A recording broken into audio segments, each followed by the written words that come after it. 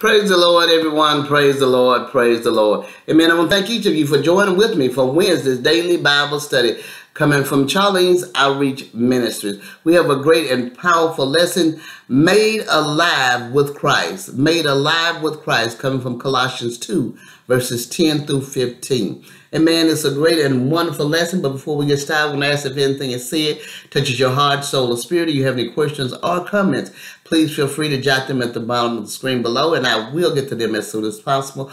Also, if you would subscribe to my channel and join with us as we together, as a body of Christ, study and meditate on the word of the Lord. Amen.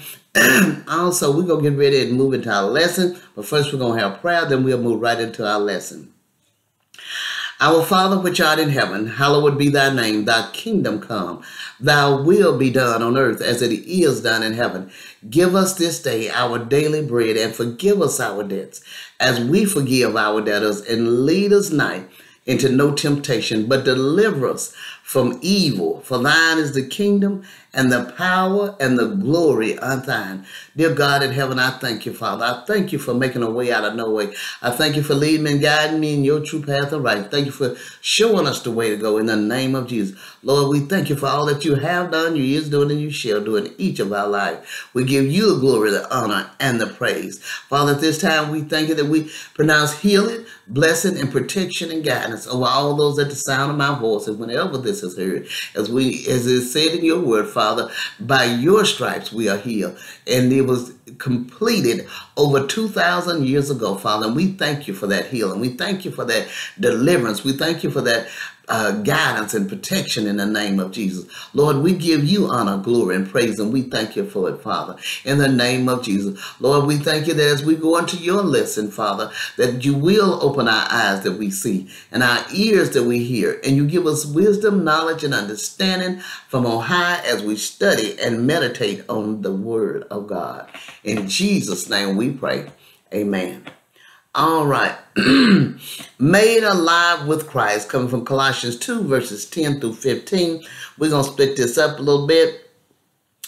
Uh, begin with verse 10. The 12 states reads, And ye are complete in him, which is the head of all principality and power, in whom also ye are circumcised with the circumcision made without hands, and put it off the body of the sins of the flesh by the circumcision of Christ, buried with him in baptism, wherein also ye are risen with him through the faith of the operation of God, who has raised him from the dead. Amen.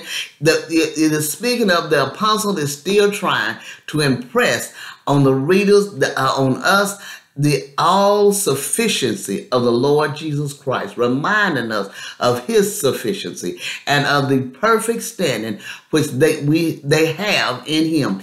In Christ dwells all the fullness of the Godhead bodily, and the believer is complete in him.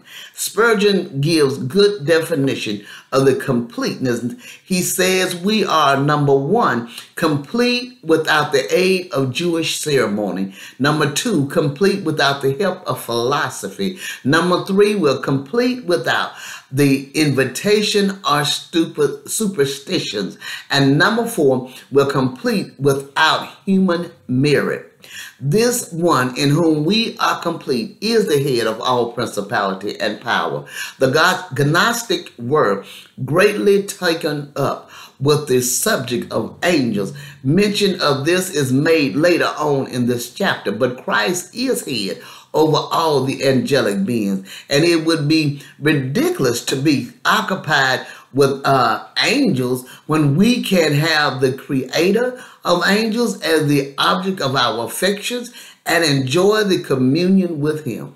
Amen. Circumcision has the typical rite of Judaism. It is a minor surgical operation in which the knife was applied to the flesh of the male child.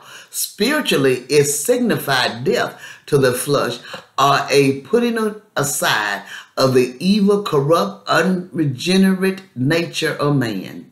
Unfortunately, the Jewish people became occupied with the literal ceremony but neglected its spiritual meaning in trying to achieve favor with God through ceremonies and good works, they were saying in effect that there was something in human flesh which could please God.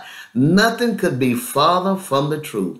In the ver- in the verse before us, physical circumcision is not in view, but rather that the spiritual circumcision, which is true of everyone who has put his faith and trust in the Lord Jesus.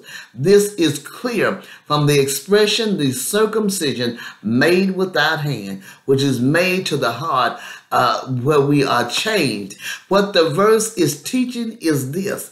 Every believer is circumcised by the circumcision of Christ.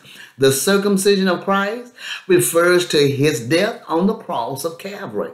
And and and the thought is that when the Lord Jesus died, the believer died also. He died to sin, Romans 6 and 11, to the law, to self, uh, Galatians uh, 2 and 20, and to the world, Galatians 6 and 14. This circumcision was made without hands in the sense that the human hands can have no part in, in it by way of merit. Man cannot deserve or, earn it. It is God's work. Thus, he has put off the body of the sins of the flesh. In other words, when a person is saved, he becomes associated with Christ in his death and renounces any hope of earning or deserving salvation through fleshly efforts. Samuel Rideout writes, Our Lord's death has not only put away the fruit, but condemned the, and set aside the very root which bore it. Paul now turns from the subject of circumcision to that of baptism. Just as circumcision speaks of death to the flesh, even so baptism speaks of the burial of the old man. Thus we read, buried with him in baptism, in which you also were raised with him through faith in the working of God who raised him from the dead. The teaching here is that we have not only died with Christ, but we have been buried with him. This was typified at our baptism.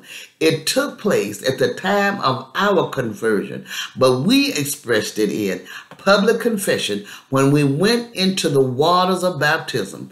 Baptism is burial, the burial of all that we were as children of Adam. In baptism, we acknowledge that nothing in ourselves could ever please God. And so we are putting the flesh out of God's sight forever. But it does not end with burial. Not only have we been crucified with Christ and buried with him, but we have also risen with him to walk in newness of life.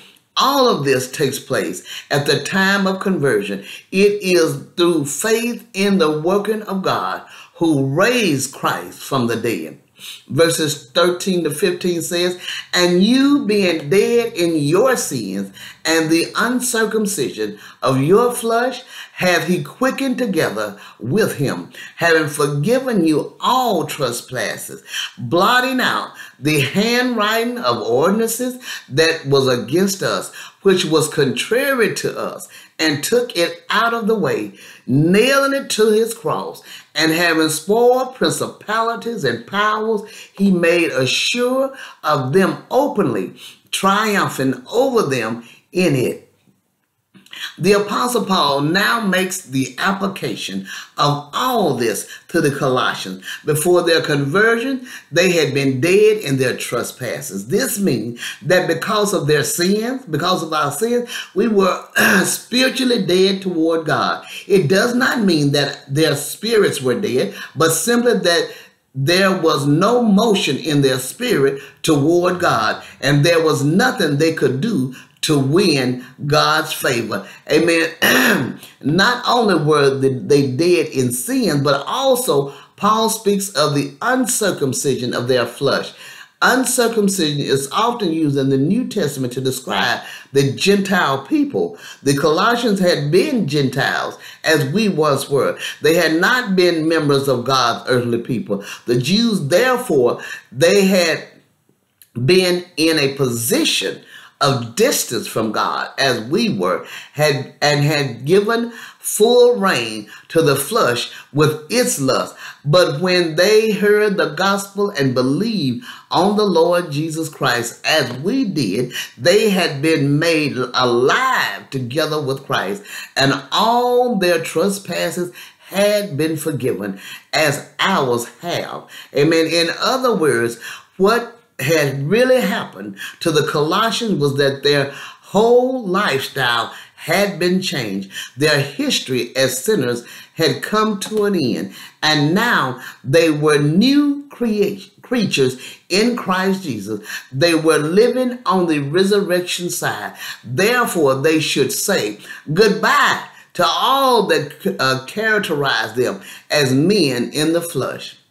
Now, Paul goes on to describe something else that was included in the work of Christ, having wiped out the handwriting of requirements that was against us, which was contrary to us. And he was taken, and he has taken it out of the way, having nailed it to the cross. The handwriting of requirements that was against us described the law. In a sense, the Ten Commandments were against us, condemning us because we did not keep them perfectly. But the Apostle Paul is thinking not only about the Ten Commandments, but also about the ceremonial law that was given to Israel. In the ceremonial law, there were all kinds of commandments with regard to holy days and foods and other religious rituals. These were all of a part of the prescribed religion of the Jews. They pointed toward to the coming of the Lord Jesus. They were shadows of his person and his work. And in his death on the cross, he took all of this out of the way, nailing it to the cross and canceling it as a bill is canceled when the debt is paid.